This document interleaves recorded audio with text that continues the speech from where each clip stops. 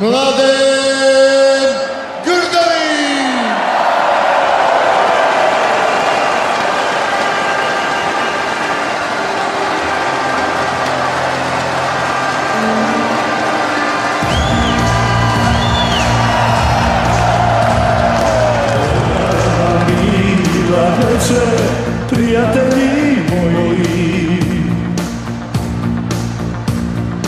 Ko će izmišljati karte ako nas nima.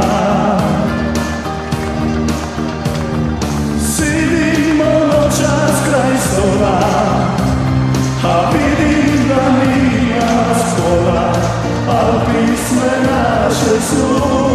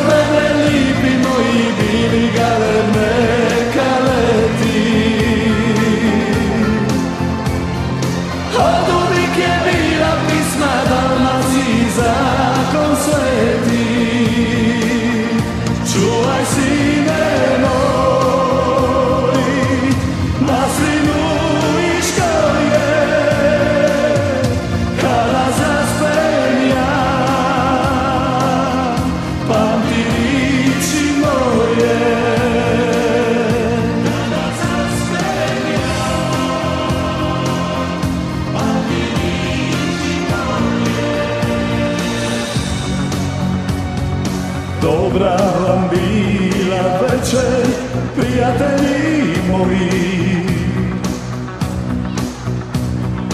Ko će izmišljati karte, ako nas nima?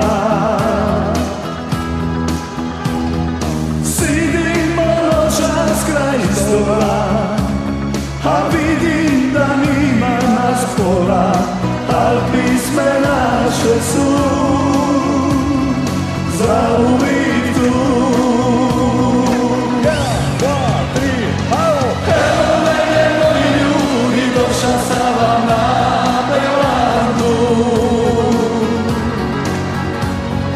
有失去吗？